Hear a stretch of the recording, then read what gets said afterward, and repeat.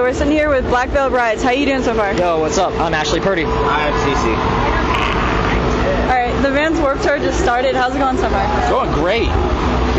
Amazing, hot, uh, lots of beer, lots of boobs. Just what a festival should be.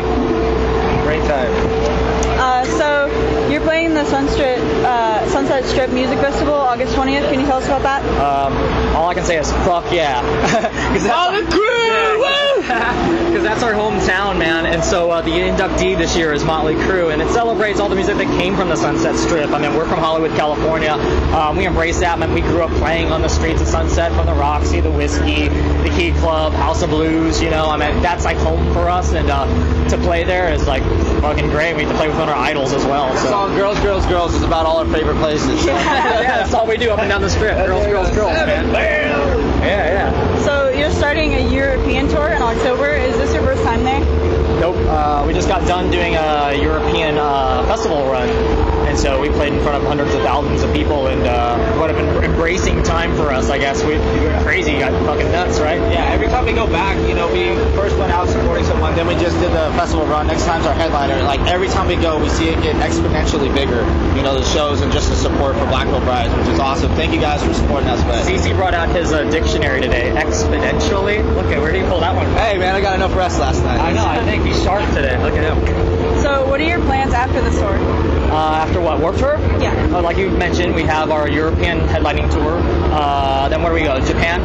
Then we go back to the States for a proper headlining tour to support uh, Set the World on Fire, which just Yes. came out, debuted. That was our uh, major label debut with Lava in uh, Universal Republic. And then what? Where are we going? Uh, Australia? yeah, we, South we do America? our Australia run. We end up in South America. That's tipping into the beginning portion of next year. And then who knows? You know, Mars, the moon.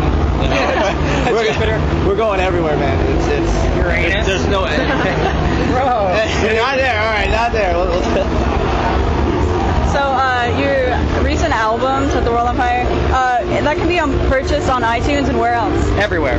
Everywhere. Set the World on Fire. It's everywhere. Target, FYE. Like you mentioned, our tour that's going to be coming up, you know, globally, universally. So our next record's going to be like Set the Universe on Fire, I think.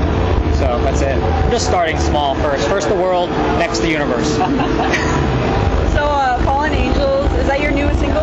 yep, that's the first single off of Set the World on Fire. All right. Which is a Uh, kick-ass video for on YouTube as well. You can check that out. Okay. Uh, can you tell us about what went into the making of that video? Uh, you know, we tie in really well with our fans. You know, we're a very fan-oriented band. Uh, we wouldn't be anywhere where we're at without them. You know, so you know, winning various awards and whatnot. It's all due to you know the driven fans that we have. And um, you know, we invited them down, much like the Perfect Weapon video. Um, had a casting call, had some friends come down, and just went for it. You know. So, uh, have you guys picked up any new endorsements lately? Probably, yeah. we get goes for everything. Okay. Is there any last words you have to say to the fans?